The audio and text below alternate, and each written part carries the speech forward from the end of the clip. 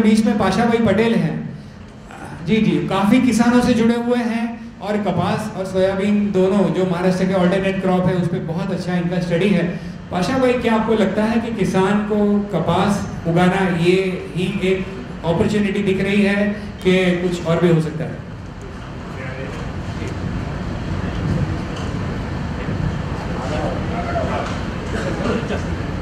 किसान कोई कपास लगाना है सब, उसको कोई बाइंडिंग नहीं है।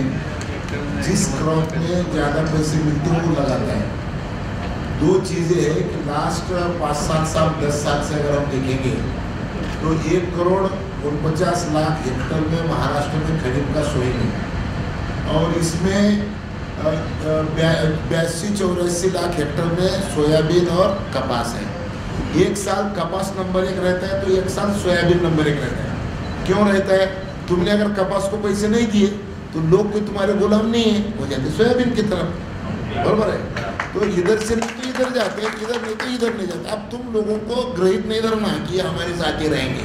नंबर एक। अब नंबर दूसरी बात यह है कि risk agriculture risk risk crop अगर कौन सा है तो कपास है। क्यों? तो कभी उसको आठ स्प्रे करना पड़ता है, कभी नौ करना पड़ता है, कभी बारह करना पड़ता है। इतने स्प्रे अभी सोयाबीन में है नहीं। अब मैं आपको एक बात बताना चाहता हूँ। जरा बेलने में जाना एक मिनट। हाँ तो बुलाए बोल तो मैं इलेक्शन कैंपेन छोड़ के आया हूँ। बुला रहे हूँ। सॉरी हाँ। और यहाँ से मैं सीधा हाँ मैं यहाँ से सीधा सिंदर को जा रहा हूँ सभा के लिए बात ओके भाई। तो आप मेरी एक बात सुनिए कि अब मेरे पास एक किसान आया है औरंगाबाद डिस्ट्रिक्ट से। कुठे पाटील? रवींद्र पलीकडे रवींद्र पलीकडे अब ये इनका गाँव है सोएगाव तालुका, औरंगाबाद में। ये किती कापूस भी है ना? कापूस भी है ना तुमच्या तो ये कैसा है कि 20 साल पहले ये गाँव में देखा था वन वैरायटी वन विलेज अब इनके पास कपास है, लोगों ने कपास पेरा है और ये वैरायटी का कपास है। इसकी पूरे नागपुर में सारी टेस्ट की है। मैं हम तीन महीने से ढूंढ रहे कि इन्होंने इतनी मेहनत करके कपास बनाया। One village one variety farm to factory बीच में नमक नमक डालना नहीं है, रांगोली डालना नहीं है पानी डालना नहीं है। अब 20 परसेंट, पूरे प्रोडक्शन के 20 परसेंट कंटेमिनेशन फ्री सुरेश भाई कपास बाहर से लाना सोच रहे तो यहाँ का किसान देने के लिए तैयार है तो इसको कोई बात करने के लिए तैयार नहीं है। अब ये किसान के पास दो हज़ार क्विंटल कपास मौजूद है। मौजूद है। क्यों गणात्रा जी बरबर है ना? तो आप एक बात सोचिए कि आप जा कहा रहे हैं? बात क्या करना चाहिए? क्या करे? तो बढ़ जाएगा ये जब तक आप नहीं सोचोगे तो ये सब ढकोसला होगा ऐसा मुझे लगता है। इसलिए मैं आप सब लोगों को एक विनती करना चाहता हूँ कि कपास, देखिए, एक एक छोटी मैं आपको एक बात बताता हूँ। इधर कुमार सेठ किधर है? मंजित कॉटन? है ना? हाँ हाँ। तो पप्पू भाई सॉरी पप्पू भाई। तो हमने एक काम किया। आपको एक छोटी छोटी एक बात बताना चाहता हूँ। Agriculture university Akola Akola agriculture इधर ये भी है, नीलावर सेठ भी है आर्मी से। अच्छे अच्छे किसान यहाँ पे, जिनकी चेहरे देख के मैं बता सकता हूँ। तो कल मिले हैं, मैं इनको चालीस साल से मिलता हूँ। तो इनकी पूरी खूबी मैं जानता हूँ, इनमें क्या है और क्या कर सकते क्या नहीं। एक आपको एक बात मैं बताना चाहता हूँ। हम पहली बार अकोला एग्रीकल्चर यूनिवर्सिटी में हमने एक मीटिंग ली। वीसी साइंटिस्ट और पप्पू सेठ ऐसे सारे लोगों को टॉप टू बॉटम डेढ़ सौ लोग एक कप चाय पे आए थे अकोला में और उन सारे लोगों ने एक बात की कि आप आप सारे जो इंडस्ट्री है टेक्सटाइल इंडस्ट्री है ये इंडस्ट्री को क्या कॉटन चाहिए? ये, ये पकड़ा। मेरे मुझे ऐसा लगता है मुझे ऐसा लगता है मैं इसमें का टेक्निक टेक्निकल आदमी नहीं हूँ ये मेरा रूमाल है इसका अलग रुई है मेरा शर्ट है इसका अलग रुई है, मेरा बनियन है, इसका रुई अलग है जैकेट का रुई अलग है। तो तुमको जो जो बनाना है, उसका कपस देते हो ना मैं क्या लेते क्या बोलो। अभी आपको एक आश्चर्य की बात ये बताना चाहता हूँ हम कि मैंने अभी अमरावती डिस्ट्रिक्ट में उन्नीस फार्मर प्रोड्यूसर कंपनी हमने बनाए हैं। कपास में फार्मर प्रोड्यूसर कंपनी नहीं थी, अब पहली बार कपास में फार्मर प्रोड्यूसर कंपनी बन रही है। दस डिस्ट्रिक्ट में हमने ये प्रयोग शुरू किया है। मैं आप सब लोगों को एक बात बताना चाहता हूँ। क्या आपको अच्छी तो बगैर रंगोली की, बगैर नमक की, बगैर पानी की आपको जैसी लगती, वैसी कपास। आप अगर बोलोगे कपास चुनने में प्रॉब्लम है, बाल जाता है, वो कड़ा कूद जाता है तो आप अगर कहोगे तो हम सोने के बर्तन में कपास चुन के देने के लिए तैयार हैं। आप अगर कहते हैं तो हम चांदी के बर्तन में कपास देने के लिए तैयार हैं, लेकिन पैसे क्या देते ये बोलो ना। अब आप अगर ये जब तक अगर नहीं बोलोगे, सिर्फ़ भाषण करोगे तो नहीं चलेगा, राशन की बात कुछ तो भी अगर करो। तो मैं आपको एक सब लोगों को यहाँ पे, मुझे नहीं पता इंडस्ट्री से कौन है क्या सोचते हैं, क्या वगैरह वगैरह वगैरह। तो मैं आप सब लोगों को एक विनती करना चाहता हूँ कि मैं आज इसलिए आऊँ मैं आज इसलिए आया हूँ कि आप सारे महानुभाव यहाँ पे इकट्ठा हो रहे हैं। तो इन देखो, किसान तो किसान की उगाने की बात सोचते हो क्या हो वो तो बच्चे छोटे से बड़ा बच्चा करना, भैंस का भी अपना भी क्रॉप का भी सब जानते हो। लेकिन माल क्या देते उसके ऊपर सारी चीज़ डिपेंड है। तो आज की मीटिंग में ये काम कर सकते क्या? आपको जो चाहिए वो क्वालिटी का कपास, जैसा चाहिए, वैसा कपास, ये बाल भर भी अंदर मिलावट नहीं होती हुई आपकी इंडस्ट्री में लाके देने की भी ज़िम्मेदारी हमारी। और दूसरी आपको सबसे महत्वपूर्ण एक बात बताना मैं चाहता हूँ, जो भारत सरकार ने एक बात कही है एफपीओ को 100 करोड़ रुपए का टर्नओवर फ्री किया है 100 करोड़ का। मैंने डबलिंग इनकम के जो अशोक दलवाई जी है, उनके साथ में दो चार बार मीटिंग ऐसी किया है कि मैं किसान हूँ यानी मैं नंगा हूँ नंगा हूँ बोल के तो किसान हूँ। तो मैं सौ करोड़ का टर्नओवर कैसे करूँगा? आपको कैसे लगा? अगर समझो मेरे इंडस्ट्री में कोई गनात्रा जी या सुरेश जी अगर मेरे साथ आके अगर इन्वेस्टमेंट करते हैं तो सरकार ने 100 करोड़ का ऊपर 100 करोड़ टर्नओवर करने से जो फ़ायदे देने हैं, मुझे देने के बजाय सुरेश जी को फ़ायदे देंगे तो तुम मेरे एफ़ में आके इन्वेस्टमेंट करेंगे। ये हम सरकार से करवा लेंगे ये मैं कास्ट एंड प्राइस कमीशन का चेयरमैन बोल के आपको बात कर रहा हूँ। आप इस दिशा में अगर ये मीटिंग को अगर लेके जाएँगे तो इसमें से कुछ तो निकलेगा। इस दिशा में निकलो ऐसी मेरी आपको प्रार्थना ठीक है? और ये कपास कोई लेते के देखो देखो कोई सर सोचते क्या? सोचते ना सुरेश भाई? ओके ठीक बहुत बराबर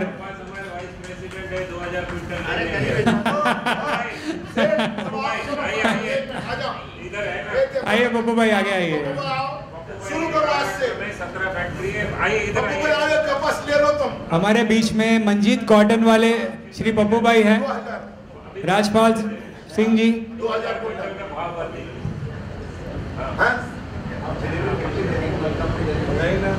मलकापुर देंगे ना। बिल्कुल सिल्लोड सिल्लोड सिल्लोड देंगे ओके अच्छा भाव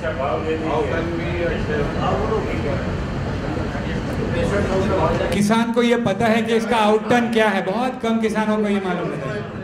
चलो, आप पप्पू भाई ने कहा कि पैंसठ सौ देंगे। क्या भाव चल रहा बाज़ार में इकसठ सौ? साढ़े तिरसठ चल रहे पप्पू भाई। आप नहीं सुनो, इन्होंने पूरे गाँव ने मिलके ये वैरायटी लगाई है। जरा अच्छा पालन पोषण किया है। तो ये अगले साल ये नेगोशिएशन भी हो रहा है। नहीं नहीं नहीं सुनो अगले साल ये लोगों को जब तक इसमें से अलग कुछ नहीं सिर्फ़ से बोलो? देखो एक बार देखो ना शुरू नहीं नहीं शुरुआत करेंगे ना। सवाल ये हाँ मैं करने हाँ हाँ नहीं हाँ में नहीं करना। अगर हमको कुछ सिखाना है कल तो हम सीखने के लिए तैयार है। पैसे चाहिए हमको। हाँ। तो तुम ऐसा सीट दे दो।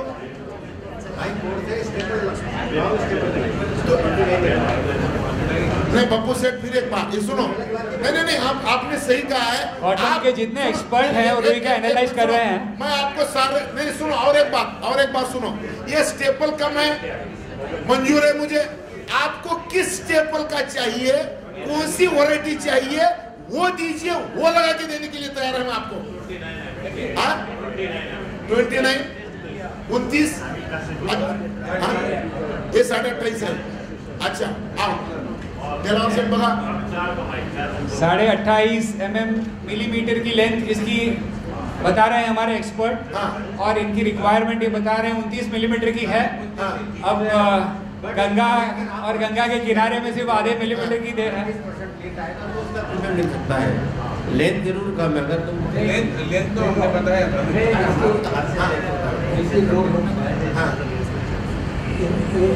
रेगुलरिटी बहुत अच्छी है।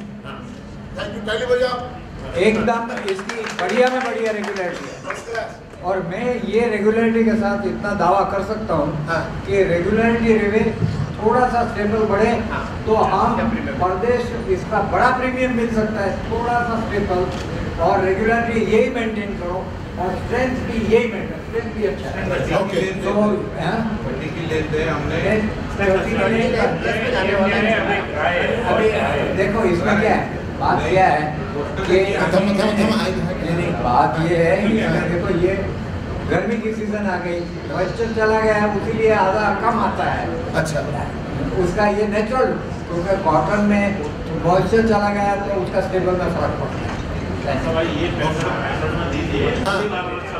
चलो ठीक ये है। ये अनजिन कॉटन है नहीं जिन किया हुआ इसको सीड कॉटन बोलते हैं।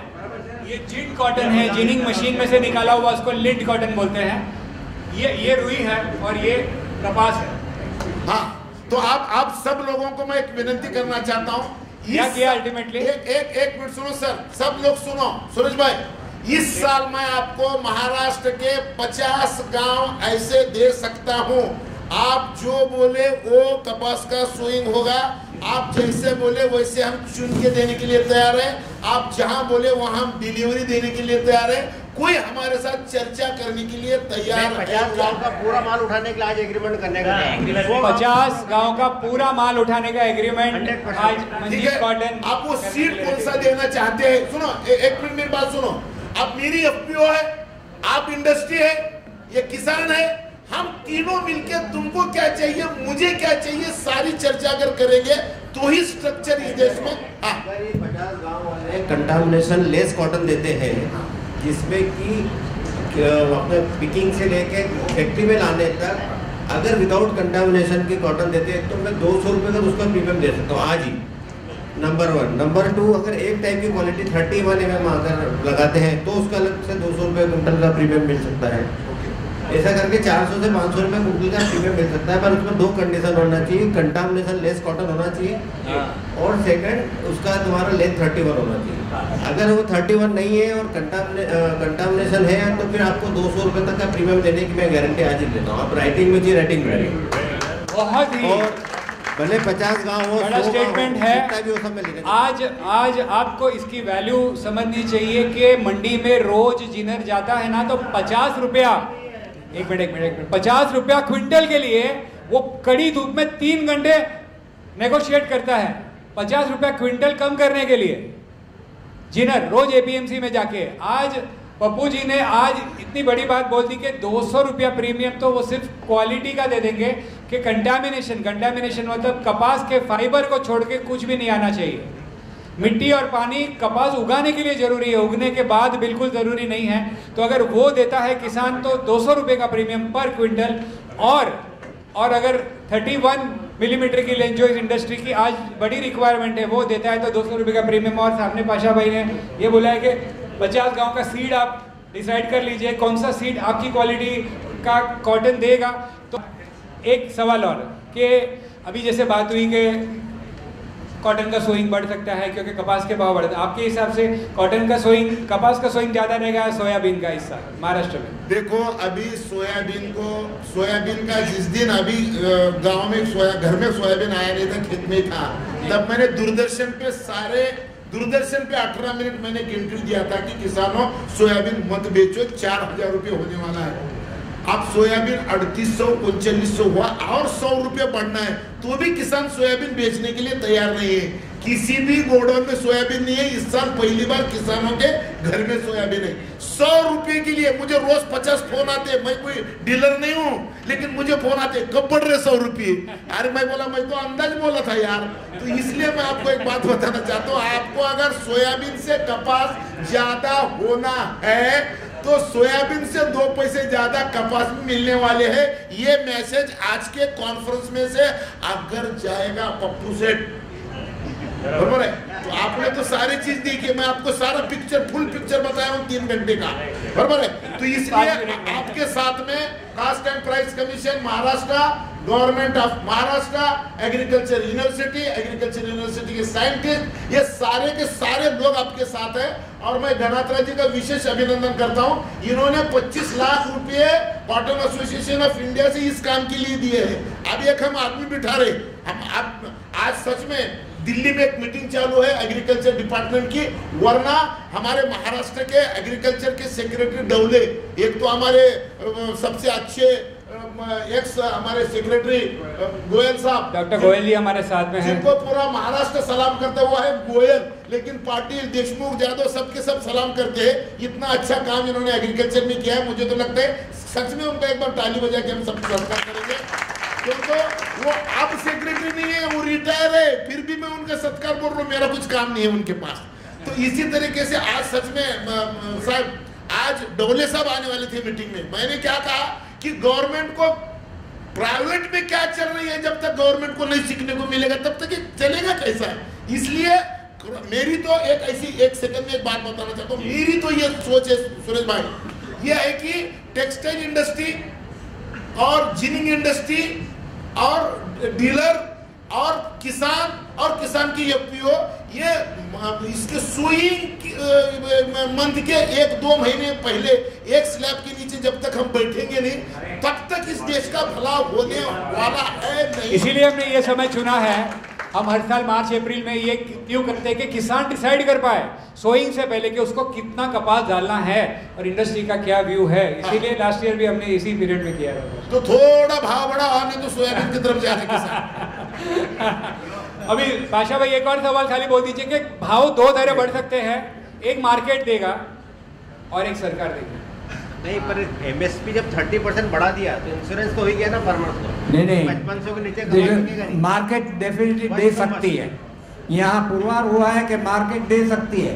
लेकिन एक बात ज़रूर है कि पशा भाई आप पशा भाई पटेल पशा भाई नहीं अपना आशा भाई है। आशा भाई मीन्स एस्पिरेशन सब आपने जो किया है बहुत अच्छा काम किया सबको एनकरेजमेंट किया है। आज जो ये नई शुरुआत हुई है वो बहुत बड़ा शुभ चिन्ह है। आपने सबको इकट्ठा किया। मैं मनीष जी को भी बधाई देता हूँ कि ही नॉट बट संस्कृत उन्होंने यूज़ किया था। मनीष को कहते हैं वेद में मनीषी। मनीषी मीन्स ऋषि। अच्छा। जो काम अपने किसान भाइयों के लिए होता है, वो मनीषी काम है उसीलिए मैं अभिनंदन देता हूँ। ऐसे सबको बुला के, सबका संगठन और आपको भी आशा भाई के तरफ़ बोलता हूँ, खाली आशा भाई नहीं बोलता क्या बात है। पाशा भाई, खाली एक सवाल का जवाब दे दीजिए कि सरकार एमएसपी बढ़ाने को किस तरह देख रही है? मतलब किसान को कपास में रखने के लिए ये अनिवार्य है और एमएसपी बढ़ेगी, नहीं बढ़ेगी? मुझे ऐसा लगता है कि इस साल कपास में एमएसपी ज़रूर बढ़ेगी, दस परसेंट से ज़्यादा। बट बढ़ेगी बढ़ेगी। हमने जो रिकमेंडेशन किया है जयपुर में, पूरे जो कॉटन का बेल्ट है कॉटन बेल्ट के स्टेट की एग्रीकल्चर प्राइस कमीशन की एक मीटिंग होती है, उस मीटिंग में मैं गया था जयपुर में। तो हमने 50 परसेंट पंद्रह परसेंट के रिकमेंडेशन है। पंद्रह परसेंट बढ़ना चाहिए। लेकिन सिर्फ़ कीमत बढ़ने से तुम अगर नहीं दोगे तो सरकार को खरीदना पड़ेगा ना। बाज़ार में होना चाहिए।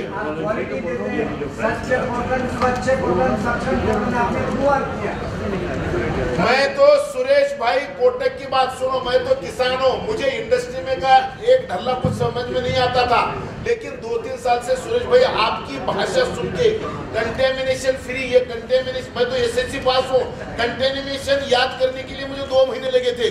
कंटेमिनेशन ये शब्द। और उसके बाद में पप्पू भाई के साथ बैठ के कंटेमिनेशन फ्री के लिए कैसे इकट्ठा करने के लिए बैग कैसे लगेंगे, वो सर पे कैसे ढकना पड़ेगा, सारी सिस्टम मैंने आपने स्वच्छ कॉटन दिया स्वच्छ कॉटन दिया सक्षम कॉटन दिया। वो भी देने के हैं। दिया। हाँ सब सब दिया। आप एक सिर्फ़ एक काम करो कि बाज़ार से अब मैं जलगांव में सॉरी जलगांव में मैंने फार्मर प्रोड्यूसर कंपनियों की मीटिंग लिया था मैं। ऐसे चेयरमैन बोल के मैं कौन सी भी डिस्ट्रिक्ट में मीटिंग ले सकता हूँ? जब मैं जलगांव में गया तो जलगांव में मुझे दो गाँव ऐसे मिले जो दोनों गाँव ने भी एक ही क्वालिटी का कपास बना के मध्य प्रदेश में दिया। क्या मिला उनको? उनको ये मिला कि लोकल बाज़ार में जो कपास का रेट है, उस रेट से एक हज़ार रुपये कुंटल को ज़्यादा दिया। मध्य प्रदेश में। दो गाँव में, वो दो गाँव भी मैंने जाके देख।